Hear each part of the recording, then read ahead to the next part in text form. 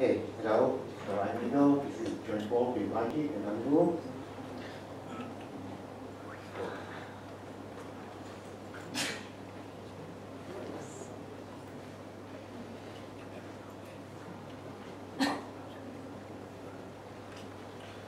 Okay, so uh, let me unpack the title. So uh, instantaneous decentralized poker. So decentralized poker uh, should be taken to mean reactive, secure, multi-party computation. Uh, and we also want uh, the inputs and outputs to be comprised of both uh, data and money. And uh, we want fairness with monetary penalties. So more on that soon. And instantaneous should be taken to mean that uh, we want an initial uh, phase of the protocol where the parties submit security deposits, and this phase can be slow. Submit uh, security deposits to a cryptocurrency, and after that, uh, the parties can communicate only among themselves without any interaction with the cryptocurrency, and uh, all the guarantees of the, uh, the protocol uh, will hold. If all parties are honest, they can continue to communicate only among themselves. If some parties are dishonest or petty, then uh, you need to go to the cryptocurrency network to enforce the rules, but uh, that's what we mean by inst- instantaneous. Okay, so about the difference between reactive and non-reactive uh, secure multi-party computation. So non-reactive multi-party computation, also called secure function evaluation, uh, is a one-shot computation, and the reactive secure multi-party computation uh, proceeds in rounds, uh, where in each round, parties receive intermediate private outputs. So the classical example for this is poker. Uh, so this example, uh, at the end of uh, round one, uh, so Alice will receive a private card, uh, Queen of Spades, end of round two, Bob will receive a card, uh, Ace of Diamonds, let's say round four, all the parties receive some card, uh, Queen of Clubs. So this is a classical example of reactive multi-party computation. Okay. And we also want computation with money. So the difference between money and data. So let's say if Alice has some secret and she gives, uh, she sent the secret to Bob, so both Alice and Bob has the secret now. If Alice has coins, then she sends the coins to Bob, then Bob has the coins and Alice doesn't have the coins anymore. So this is the difference. Uh, when parties communicate over the internet, so if we are uh, implementing these coins using a cryptocurrency like Bitcoin, so actually parties only send data over the internet, they don't actually send coins, but uh, so Alice will send a signed transaction that is put into a global ledger and there is consensus on the global ledger. It becomes irreversible in Bitcoin with proof of work and this is a, a way to transfer coins over the internet Bitcoin, for example. Um, so uh, we have a formal model for secure computation with coins, and we do simulation proofs in this model. There are also other academics work with similar models. We use uh, AD functionalities. Can you try to pronounce that F square? Uh, Sorry, she's. you It's a trick question. So F functionality is like a standard functionality without points, and F star is a functionality with What points. is the square? Square is like, it's supposed to be, for that F uh, claim refund, so CR will be instead of the square, uh, just a blank space. So, um, okay, so, yeah. Okay, so let me give the template for secure function evaluation, nothing reactive yet. Uh, first, secure reactive, first secure uh, function evaluation. So the way that you do it, you run uh, the secure computation among the, these n parties, and uh, instead of directly delivering the output, so uh, we don't, the secure computation will not deliver the output, it will create an additive secret sharing of the output, so any subset of the shares don't reveal anything about the output. All the shares together, when you combine them, will reveal the output, so we give each party uh, one share and the hash commitments to all the other shares. And uh, now if we have a good way to uh, submit security deposits to a, a cryptocurrency that uh, take into account these uh, hash commitments and do some fair exchange such that if a party is dishonest, then uh, if we lose the security deposit, then we will get secure uh, fair computation with penalties. So, uh, so this slide uh, basically tells the entire story of uh, this project. So if you plan to take a nap, don't do it now. So, uh, okay, so uh, this will show how to do secure, fair secure function evaluation that is instantaneous, that you can do it many, many times without interaction with the blockchain. Okay? So we have this, what we call a stateful contract. In the beginning, there are n parties. They are going to submit a, a security deposit of q times n minus 1 coins each. Uh, q should be regarded as the compensation amount that an honest party is going to get uh, if he didn't learn the output. Uh, can be regarded as upper bound on the value of the output. Okay, so after all of them uh, submit the, the coins into the contract, um, and they register their public key identities in the contract, in the contract. Now they can start to run off-chain uh, multi-party uh, secure function evaluation uh, that uh, delivers those kind of additive secret shares and uh, hash commitments to these secret shares. Uh, when the, those outputs are delivered, then they are going to extend signature on this tuple that they put in bold the tuple has all the hash commitments and the index of the current execution.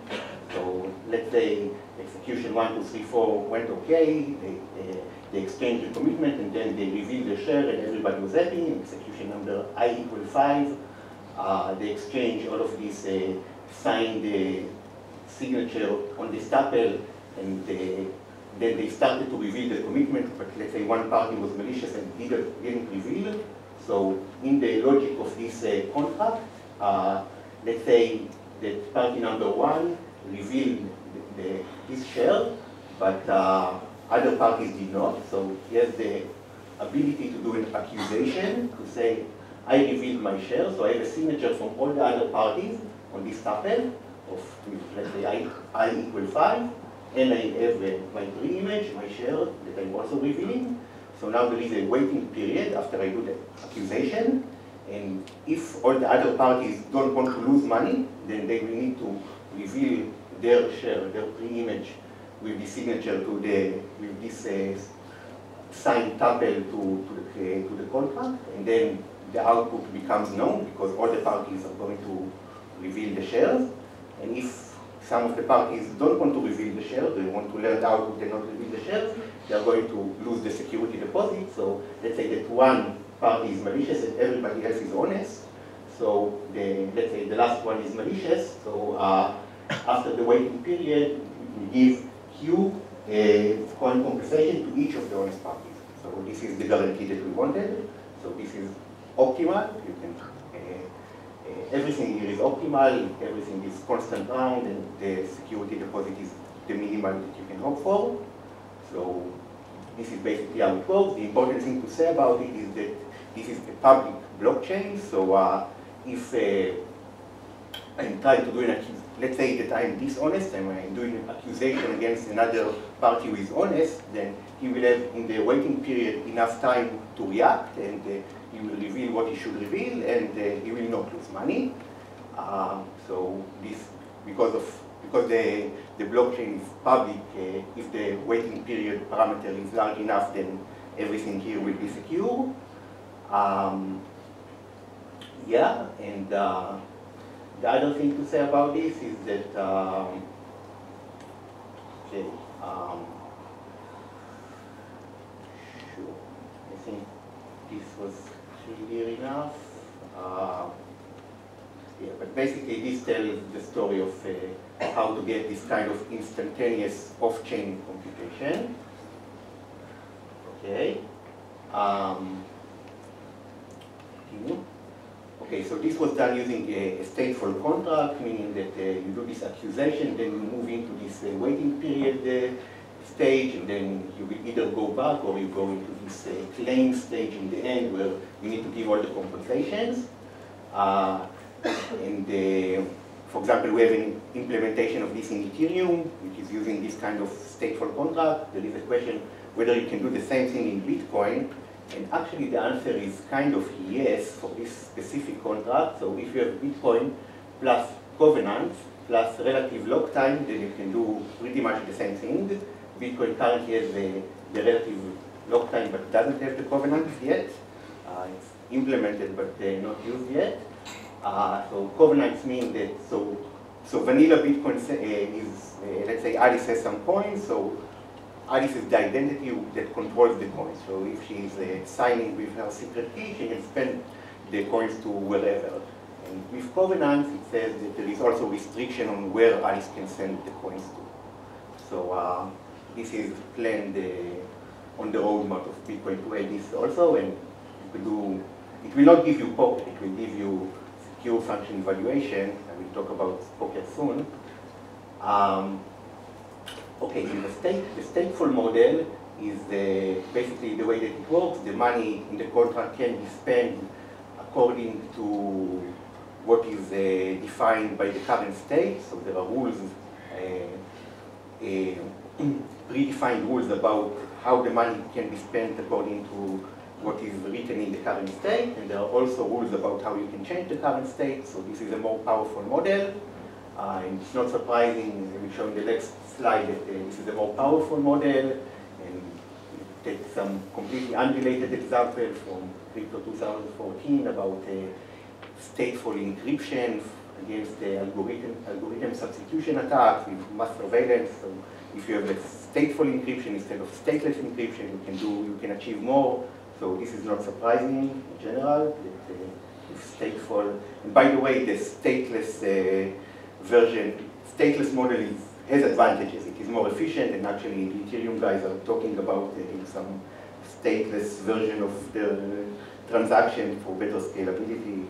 It's uh, not so clear cut. Uh, so this is the clean example that we have about what you can do in the stateful model that is uh, cannot cannot really do in the stateless model, so this is a lottery. Uh, so there is a, like a tournament bracket, and uh, each two players play, and the winner go to the next round. So if it is the stateful model, you can put in the state here who won, and continue to the next round. And this is a very efficient protocol. If you try to do it in the stateless model, and you cannot write after each competition who is the winner, and you just need some way to decide the winner, I will not be able to convince you in a couple of minutes, but uh, basically you get some exponential blow up when you try to do it in the, in the stateless model. In the stateful model, it's linear, it's very, very efficient. Uh, so we have paper about this. Uh, it's called the zero collateral lottery in Bitcoin UK. Okay, so now let's go to the reactive part, or the poker part. Okay, so in general, in the classical setting, uh, um, the question of whether uh, secure function evaluation and multi-part computation are equivalent or not. So basically, if you have a secure function evaluation and you ask if it's feasible to implement from this uh, secure multi-party computation, so basically the way that you would do it, uh, you want to implement the multi-party computation, so you use the secure function evaluation for the, for the round, and in the end of the round, uh, you, uh, you secret share the state in the end of the round, and then you continue to the next round, and uh, if you had an honest majority, then the majority can re always reconstruct the, the state and continue. So if you have honest majority, it works. If you don't have an honest majority, then even secure function evaluation is not secure. Um, it's not fair. Uh, there is actually a separation result. This is the best of both, both worlds paper that says that uh, there are, for some parameters, if you, so best of both worlds means that if there is honest majority, then you get fairness, but you always get privacy, even if there is no honest majority. This is difficult to achieve. This paper is mostly negative. Um, but there is a separation result about uh, what you can achieve with, for some parameters you can achieve safe secure function evaluation, but, but not secure multi-party computation. Anyway, all of this is irrelevant for us because what we really want is to play poker and we want to do it with a dishonest majority. We want that even if one party is honest and everybody else is dishonest, then you cannot damage the honest party. So uh, the privacy is always ma maintained uh, of the parties, and we have guaranteed output delivery at the end of each round. So after each round of the computation ends, uh, all the parties are guaranteed to get the output of the round. And the last bullet point that is uh, highlighted says that even this is not enough. What we really want is to force the parties to play the next round. Because the example here, let's say uh, the, the last round finished and Alice received some card, say the, the Queen of Spades, and maybe she doesn't like the card, so we shouldn't allow Alice just to abort now after the round ended. We must force Alice to continue to play or otherwise pay a penalty. This is what we want in a, we call it a dropout tolerant uh, secure multi-party computation. Okay, so eh, in earlier work we, we had a very complex uh, way to achieve this, to force parties to play in the stateless model, model in the Bitcoin model, with a seesaw construction that is quadratic, round, on, on the cryptocurrency, on the blockchain. Uh, you shouldn't really look at this slide. So in the stateful model, uh, which is what we do in the, this uh, project, becomes much easier, uh, but still not as good as the version that I, I showed before for the secure function evaluation. So the, the distinction is that uh, for the reactive uh, computation, you really need to put logic of the functionality that you are computing into the contract, into the on-chain contract uh, that is being verified by all the nodes in the cryptocurrency network. Um, because uh, like in, in, the previous version, the secure function evaluation, just after, so each next uh, iteration, each uh, execution of a, a, secure function evaluation, it's like uh, it's always the same. It's just a signed agreement that some data that the parties agreed to sign was really signed. Here you cannot, you cannot do it because uh, Alice and Bob are playing poker they need to decide now is one of them aborted or not. So may, maybe one is accusing the other and the other is accusing the first one and you really need to put the logic of the poker game on the blockchain to, to decide who is right and who is wrong. Otherwise, it will not work. And, uh, become convinced uh, what. Actually, so I put in the last bullet, uh, an interesting open question of, for a reactive functionality, whether you can uh, make the on-chain complexity of it depend only on a security parameter, like we can for the secure function evaluation, or it must depend on the complexity of the functionality itself. So this is an interesting, important question. Okay. So this is basically uh, what is true about uh, how to implement uh, reactive functionalities with penalties and uh, with money transfers. So now I'm going to talk about the problem with the practical deployment of this. So the first two problems are not so bad. So the first one is the actual uh, mental poker protocol, what is the time complexity for the initial shuffle. So I put some screenshot uh, from the best paper that does it. You, with nine players are playing poker, see numbers like 11 seconds and 15 seconds. So uh, question whether this is good enough user experience. Maybe this can be optimized. So uh, this not a big, this is not a big deal. The other one is about the on-chain complexity. Like if you need to execute the poker logic on the blockchain, uh, you need to pay high fees. Or, so this is also not a, a big deal. In Ethereum, there is already support for this uh, built-in opcode for uh, the elliptic curve uh, modular exponentiations, which is what we need for the zero knowledge proof of knowledge for the poker logic. But the third point is a big deal, like it's basically a deal breaker. So uh, unless anybody has a guess, I'm going to say why the entire thing breaks apart and we cannot really implement mental poker, or we can, but not really. So what the people who actually play poker online really want is that if some player aborts, then the other players can continue to play the game. Uh, and this, unfortunately, is uh, there is an inherent con contradiction here. So let me uh, try to say quickly. So let's say Alice, Bob, and Carol uh, start to play poker. Uh, you give a, a, private card to Alice, a private card to Bob, and then Carol aborts. So this is the good case. Here we, we, would, we are happy because we can now uh, reshuffle the card using uh, the secret, but not revealing the, the private card of Alice and Bob, reshuffle the cards and let Alice and Bob continue to play. This can be done. This theoretically, not easy, but it can be done. But let's do, now talk about the other case. Uh, Alice, Bob, and Carol start to play a poker game, give a private card to Alice, private card to Bob, private card to Carol, and now Carol aborts. So, the only thing that you can do is take, basically reshuffle the cards of with Alice and Bob by putting the card of Carol back into the deck of cards and reshuffling everything together. You cannot leave the card out. Because if you leave the card out and uh, you reshuffle only using Alice and Bob, uh, so Alice and Bob has to total control, then they can just deal all the cards to themselves and they would know what is the missing card of Carol. So this will uh, violate zero knowledge.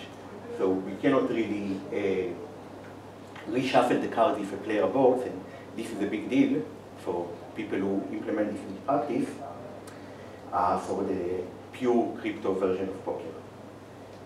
So an alternative design is uh, using a trusted hardware to implement poker. Uh, and this will solve all the problems of the previous slide. So the shuffle becomes very fast, milliseconds, uh, all the logic doesn't need to be on the blockchain. You can move all the uh, all the logic into a secure enclave, and uh, just uh, on the blockchain, you just need to get uh, to verify signature from this uh, magical trusted party of the trusted hardware. And the third point, which is the most important, is that this party has all the secrets, and if one party aborts, then the, this magical trusted party can continue to deal cards and give continue the game with the other parties. So uh, this version has advantages. So actually, uh, so uh, we teamed up with some of the guys who are implementing poker on Ethereum. Uh, so, um, and what we agreed to do with them is to implement both the pure crypto version and the trusted hardware version, and we will see what people would like to play more. Uh, so probably not the pure, so for the pure uh, crypto version, what it would mean that if, let's say, one party aborts, what we can enforce that uh, this party who aborted is going to compensate the other parties. So they will get extra money. But it's not the nicest kind of uh, user experience, like what I said before. People who play right now on centralized poker web uh, sites, they really want to continue the game. Like uh, this is like the fun of the experience. So this we cannot really achieve with the pure crypto version, unfortunately. Uh, yeah, so we will implement both versions. So this is a project with uh, Andrew and Fan is also good with the trusted hardware. Uh, so this will be a good uh, use case for smart contracts. There is general question like in the last couple of years, what are like the killer applications for smart contracts? So Poker is one of them. I'm not sure if you have other good examples. So uh, we're going to work with these guys and uh, implement these uh, poker versions. Okay, cool. So they, they will have like a crowd sale sometime soon, so if you want, you can invest in that. Okay, thank you.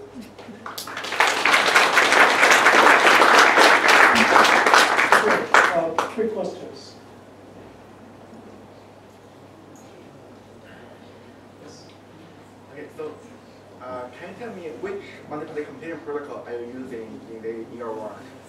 Because you are, it looks like you, are, you need to use uh, active secure computing protocol. Uh, yes, it needs to be active. Yeah. Uh, which protocol are you using?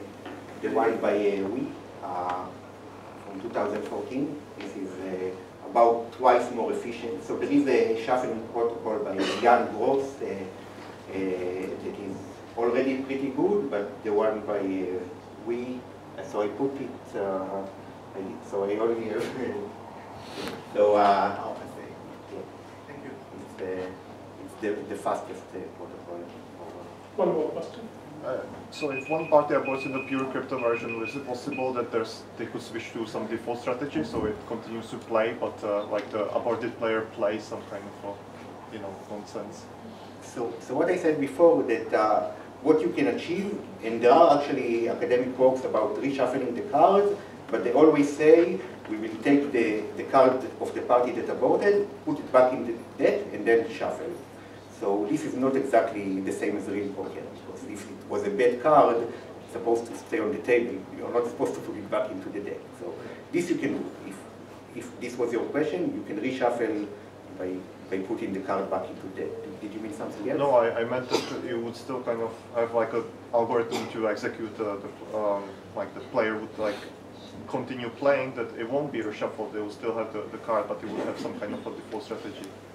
default strategy, okay, I see. So this is kind of the same as the, so what we, okay, it's an interesting idea, but so what, what we do in this, the way that we do it is we just penalize the player. Um, it's kind of, the, the incentives of what you're saying are a little weird because there are also all these uh, poker bots that are, might be better than humans, so we actually may be rewarding a player who acted maliciously instead of, so he might win the game. So I mean, I'm not sure what kind of simulation, how, how good is, is he going to play?